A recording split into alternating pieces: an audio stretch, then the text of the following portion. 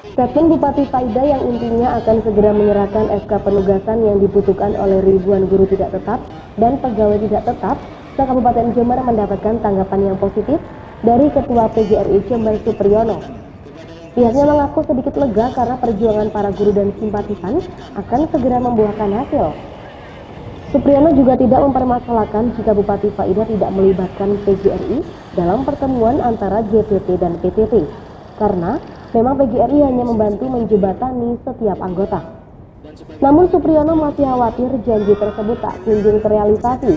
Oleh sebab itu, PGRI berharap pernyataan Bupati segera diwujudkan dalam bentuk nyata, bukan sekedar statement di media. Uh, eh, SK apa SK penugasan itu paling tidak kebijakannya samalah dengan Gubernur Jawa Timur ya, karena yang terdaftar gitu ya pada saat pengajuan data GTT PTT untuk diberikan SK semua oleh gubernur yang terverifikasi eh, SK-nya dikeluarkannya. Okay. tidak melihat SPM tidak melihat uh, linearitas gitu ya.